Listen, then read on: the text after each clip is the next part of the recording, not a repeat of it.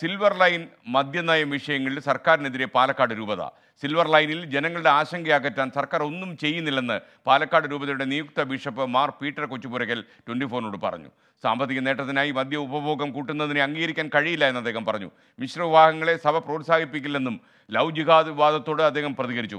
പാലക്കാട്ടെ രാഷ്ട്രീയ കൊലപാതകങ്ങൾ വേദനയുളവാക്കുന്നതാണെന്നും മാർ മാർ പീറ്റർ കൊച്ചുപുരക്കൽ പറഞ്ഞു. നിഖിൽ പ്രമേഷ് തയ്യാറാക്കിയ റിപ്പോർട്ടിലേക്ക്. പാലക്കാട് രൂപതയുടെ മൂന്നാമത് മെത്രാനായി ബിഷപ്പ് മാർ പീറ്റർ കൊച്ചുപുരക്കൽ ഇന്ന് ചുമതലയേൽക്കും. ജില്ലയിലെ പ്രത്യേക സാഹചര്യത്തിൽ വർത്തമാനകാല സാഹചര്യങ്ങളുമൊക്കെ അദ്ദേഹം ട്വന്റി ഫോറുമായി പങ്കുവയ്ക്കുകയാണ്. എങ്ങനെയാണ് ഈ പുതിയ ദൗത്യത്തെ അങ്ങ് നോക്കിക്കാണുന്നത്? രൂപതയുടെ ആദ്യത്തെ മെത്രാൻ അഭിവന്യ ജേക്കബ് അഭിവന്യ ജോസഫ് ഇരുമ്പൻ പിതാവും പിന്നെ ഇപ്പോൾ വിരമിക്കുന്ന അഭിവന്യ ജേക്കബ് മണത്തോടത്ത് പിതാവും. ഇവർ രണ്ടുപേരും അവരവരുടെ കാലഘട്ടങ്ങളിൽ ഏറ്റവും ഉചിതമായ രീതിയിൽ ഇടയ ശുശ്രൂഷ നിർവഹിച്ചവരാണ്. എനിക്കും ഈ കാലഘട്ടത്തിന് എന്തൊക്കെയാണോ ആവശ്യമായിട്ടുള്ളത് അത് അവരിൽ നിന്ന് കിട്ടിയ പ്രചോദനവും അടിത്തറയിൽ നിന്നുകൊണ്ട് ചെയ്യണം. ഇന്ന ഇന്ന കാര്യങ്ങളാണ് ഞാൻ നടപ്പാക്കാൻ പോകുന്നത് അല്ലെങ്കിൽ രൂപതയിൽ പ്രാവർത്തികമാക്കാൻ പോകുന്നതെന്ന് ചില രൂപരേഖകളൊക്കെ ഉണ്ടെങ്കിലും കാലഘട്ടത്തിന് ആവശ്യമായ ചില സാഹചര്യങ്ങൾ വരുമ്പോൾ അത് കൂട്ടായ്മയിൽ ആലോചിച്ച് തീരുമാനിച്ച് ഓരോ കാര്യങ്ങൾ നടപ്പാക്കും. മറ്റൊരു കാര്യം കേരളത്തിൽ കേരളത്തിലിപ്പോൾ ഈ സിൽവർ ലൈൻ വിഷയങ്ങളുമായി ബന്ധപ്പെട്ടിട്ട് വലിയ തരത്തിലുള്ള ആശങ്ക ഈ ഭൂമി നഷ്ടപ്പെടുന്ന ആളുകൾക്കടക്കമുണ്ട്. എന്താണ് ഇക്കാര്യത്തിൽ അങ്ങയുടെ വ്യക്തിപരമായിട്ടുള്ള അഭിപ്രായം? എന്താണ്? സമഗ്രമായിട്ടൊരു പഠനം നടത്തിയതിന് ശേഷം ആവശ്യമാണെന്ന് കണ്ടാൽ മാത്രം നടപ്പാക്കേണ്ട ഒരു പദ്ധതിയായിട്ടാണ് എന്റെ വ്യക്തിപരമായ അഭിപ്രായം.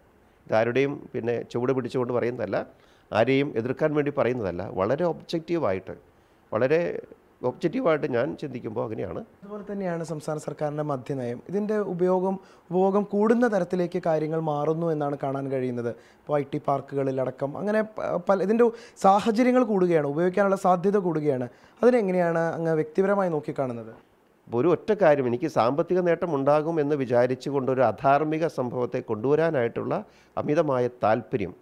അത് എന്റെ ഭാഗത്തു നിന്ന് എന്റെ വ്യക്തിപരമായ ഒരു നിലപാടനുസരിച്ച് നമുക്ക് ന്യായീകരിക്കാവുന്ന ന്യായീകരിക്കാവുന്ന കാര്യമാണെന്ന് തോന്നുന്നില്ല. അപ്പോൾ കഴിഞ്ഞ ദിവസം കോഴിക്കോട് കോടഞ്ചേരിയിലെ ഒരു വിഷയവുമായി ബന്ധപ്പെട്ട് കേരളത്തിൽ ലവ് ജിഹാദ് ഉണ്ട് എന്ന് ചില മതപുരോഹിതർ തന്നെ പറയുന്ന സാഹചര്യം ഉണ്ടായിരുന്നു.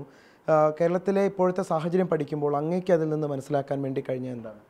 ഏതെങ്കിലും സഭാ മേലധ്യക്ഷന്മാരോ വ്യക്തികളോ അങ്ങനെയുള്ള കാര്യങ്ങൾ തറപ്പിച്ച് പറയുന്നുണ്ടെങ്കിൽ അവർക്ക് അങ്ങനെ പറയാനുള്ള അടിസ്ഥാനങ്ങളുണ്ടാകാം ഒരു അടിസ്ഥാനവുമില്ലാതെ അവരങ്ങനെ പറയുമെന്ന് എനിക്ക് തോന്നുന്നില്ല ഏതായാലും എന്നെ സംബന്ധിച്ച് ഒരു ഔദ്യോഗികമായിട്ടൊരു പ്രസ്താവന അക്കാര്യത്തെക്കുറിച്ച് പറയാൻ ഞാൻ അതിനുവേണ്ടി മുതിരുന്നില്ല. ഇന്ന് ചുമതലയേൽക്കുന്ന ബിഷപ്പ് മാർ പീറ്റർ കൊച്ചുപുരക്കൽ അദ്ദേഹം പൂർവികർ തുടർന്നു വന്ന രീതി അവരുടെ കൂടി പങ്കാളിത്തത്തോടും സഹായത്തോടും കൂടി മുന്നോട്ട് കൊണ്ടുപോകുമെന്നും അതോടൊപ്പം തന്നെ സമകാലീന വിഷയങ്ങളിലുള്ള അദ്ദേഹത്തിന്റെ അഭിപ്രായം കൂടിയാണ് പങ്കുവച്ചത്.